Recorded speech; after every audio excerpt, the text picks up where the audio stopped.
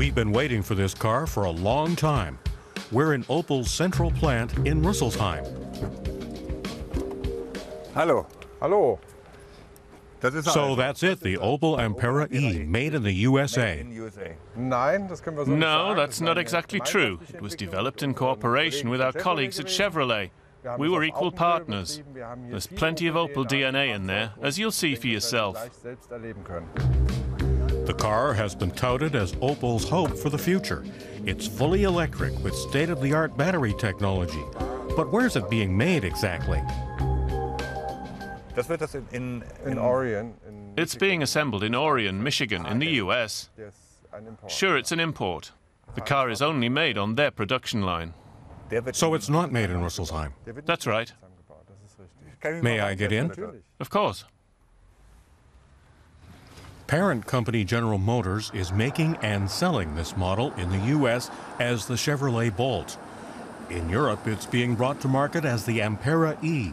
Supply is extremely limited because GM is selling off its Opel unit. The future of this electric model is unclear. We've been told we're the first German TV team to test the vehicle. We're driving from Rüsselsheim to Bergisch Gladbach, a distance of 180 kilometers. zu einem Autoexperten. We're going to meet the car expert who can explain why this car took so long to deliver. lässt. Es ist der Wagen, When it finally comes to market, it will be the longest range e-car in Germany, up to 500 kilometers range.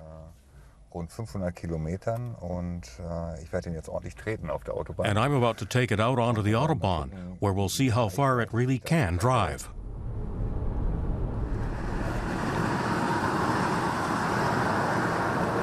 das Auto steckt ja The car is full of lights and bells and whistles. It encourages the driver to drive more slowly, drive more economically, Immer langsamer zu werden, immer sparsamer zu fahren. or, like right now, for example, generate energy while driving down hills. Wie jetzt zum Beispiel. It's an entirely new way of driving.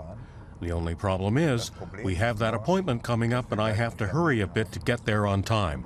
Ich hier ein bisschen anziehen muss, damit wir den Termin halten.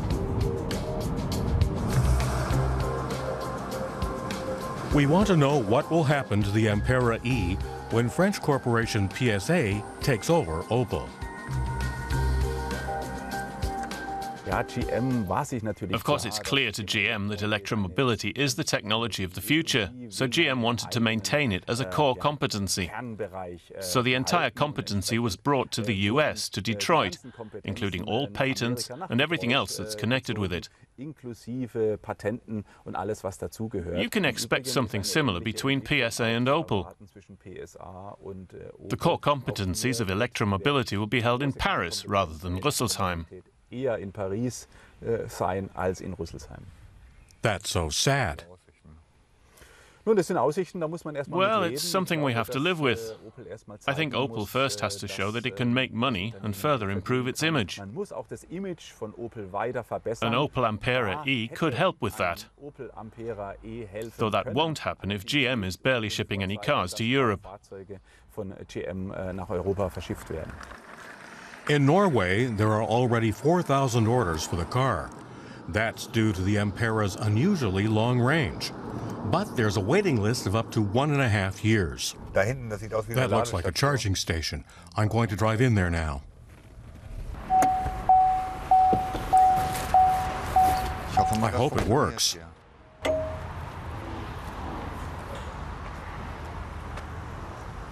Reicht nicht.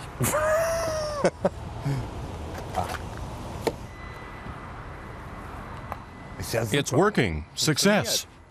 Richtiges Erfolgserlebnis.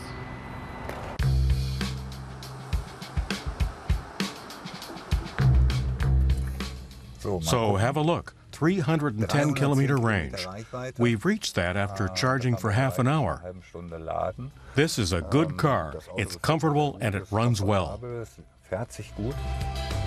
You can reserve an Ampera E for a fee of 1,000 euros. But Opel gives you no guarantee that you'll actually get one.